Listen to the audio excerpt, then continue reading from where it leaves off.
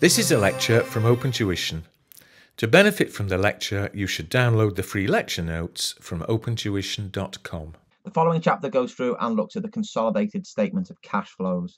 Clearly, it's going to be examined within question number one as part of the group accounts and will be there for the standard 35 marks. It's something that gets examined maybe every two or three sittings, uh, maybe even less frequently than that. So it's not something that appears regularly, but I really want you to promise me now that you're not going to look at what's been recently examined and think, well, maybe there has been a cash flow that's been examined recently. So I'll take the chance and not revise it. And then all of a sudden it crops up within the real exam and you are screwed. Okay. Uh, no, you have to practice all the financial statements, position statements, performance statements, so profit or loss and OCI, and this one here, if you don't practice the cash flows, then you are practicing to potentially fail the exam. Yeah, go through and have a look at the past exam questions. You will find that even though it's tricky to start off with, it is a perfectly passable, very good area to score marks upon within the exam. Okay, so do go through and put in plenty of effort. So let's go through and have a look at what it's all about. Again, the little bits and pieces in here aren't within your notes until we, we move into what you see within your notes being the actual group statement of cash flows itself. But that's what we have there, isn't it? We, have got your group structure. We've got the parent, the subsidiary, and the associate. The way in which exam questions work and the way in which things work in the real life is if you think about F7 and your statement of cash flows question, you had the statement of financial position for the current year and the prior year. You then had the statement of profit or loss, and then you had to look at the movement in the various balances, whether that was the working capital balances, property, plant, and equipment balances, share capital, share premium balances, the debentures or loan balances to work out the inflows and the outflows. When you look at it from a group perspective, it's exactly the same. However, what you get now is a group statement of financial position and a group statement of profit or loss and other comprehensive income. So the basic fundamental principles still hold from what you've seen in F7. The basic exam technique that you have from F7 still holds. However, what we need to go through and do is we need to just look at some additional cash flow items that appear based upon the fact that we are preparing the accounts now for a group, and that is based on the concept of substance over legal form. There are now some additional line items that appear within the SFP and within profit or loss that give rise to additional cash flows that we have not seen previously. So if we look at that group structure there, very simple with a parent, a subsidiary, and an associate. Let's just think first of all with regards to cash flows between the group and the outside world. That's what you're thinking about when you're preparing your group statement of cash flows. What cash flows arise between the group and those outside of the group? Well, to start off with, we look at things internally. Because if S declares a dividend, then P records its share. Now, that's neither an inflow or an outflow within the group accounts. In P's individual accounts, it will be an inflow. In S's individual accounts, it will be an outflow. But within the group accounts, P's share of S's dividend does not exist. However, if S is not a wholly owned subsidiary, then the non-controlling interest will get their share of that dividend.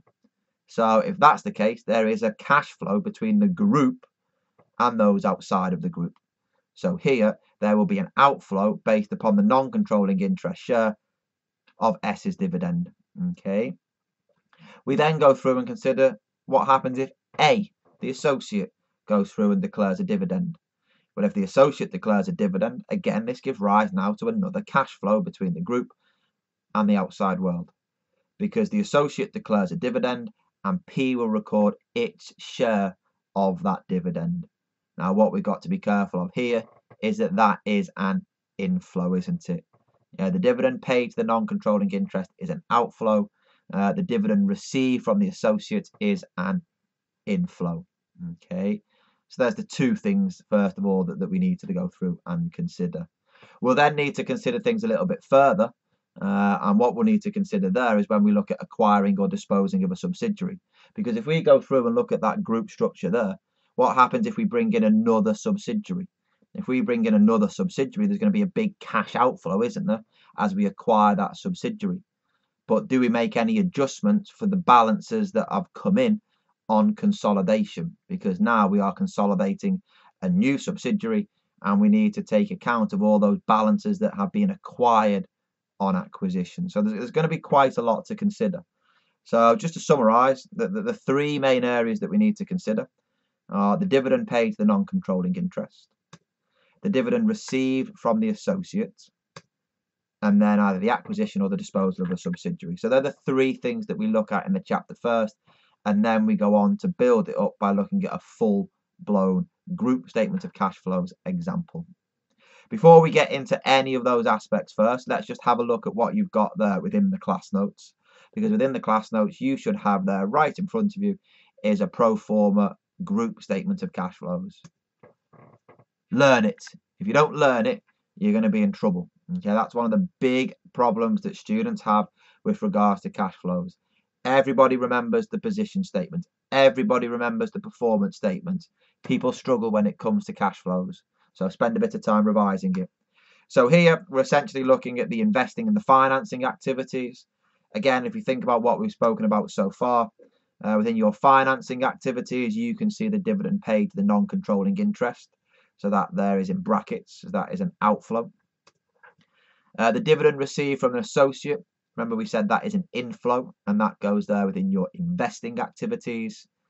And then you have the acquisition or the disposal of a subsidiary. If you have the acquisition of a sub, you have paid to bring the sub into your group. So there's a big cash outflow. If you've disposed of a subsidiary and got rid of it, there's going to be a nice big cash inflow uh, as you get the sales proceeds on disposal. Okay, so there's the three main aspects that we've spoken about already. Uh, just to add on top of that, there's some smaller little bits and pieces. If you look at the top of your consolidated statement of cash flows within your operating activities, you will also need to make adjustments for those non-cash items. So you have to prepare the group statement of financial, or sorry, the group statement of cash flows under the indirect method. So taking your group profit before tax and reconciling it to your cash generated from operations. And we add or deduct those non-cash items. So the common one that you can see at the top is depreciation. So that's a non-cash expense, isn't it? You've charged depreciation, which has reduced your profits, but it is not reducing cash. So therefore we need to add it back on, don't we? Well, an impairment is exactly the same, isn't it? Uh, an impairment of goodwill within a subsidiary is a non-cash expense. So any non-cash expenses, we add them back on, don't we? Okay. Uh, likewise, uh, you've got then following your impairment, is it the gain or loss on sale of a subsidiary? So again, in F7, we adjusted for the profit or loss on disposal of a tangible, so property, plant and equipment. Here, the same principles. We may have a gain or loss on disposal of the subsidiary, so that group profit or loss. It's just an accounting adjustment, isn't it? Accounting for the substance, the fact that we have disposed of a subsidiary. Uh, so therefore, the cash element is dealt with as a cash inflow within your investing activities with the disposal of the sub, but you need to adjust for the gain or loss on disposal. So if it's a gain, it's push profits up we need to remove it, so deduct it. If it is a loss, that's pushed your profits down, so we need to add it back to get to our correct figure. The last figure that you've got there is looking at your share of associates profits. So remember, uh, you record your equity accounting of your associate in the statement of profit or loss as one line item, isn't it? It's there immediately before PBT. But if we start right at the very top with your group profit before tax, we need to work backwards, don't we, to get to your group operating profit. So the first thing that you go through and see there is the profit of the associate, isn't it?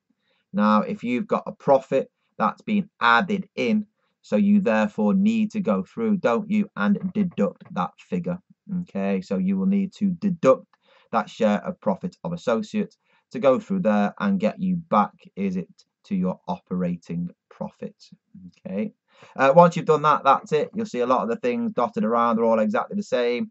So gain or loss on disposal of tangibles, interest payable, adjustment, inventory, receivables, payables, interest paid, tax paid. So there is a lot of information that you see that is being done exactly the same from F7. So if you've mastered the technique of cash flows from F7, then you're going to be in a really good position to go through and master the technique further when we apply it to a group statement of cash flows. So I'll see you in the next video when we begin to introduce the first aspect of group cash flows, which is looking at the dividend paid to the non-controlling interest. So I'll see you all in a moment.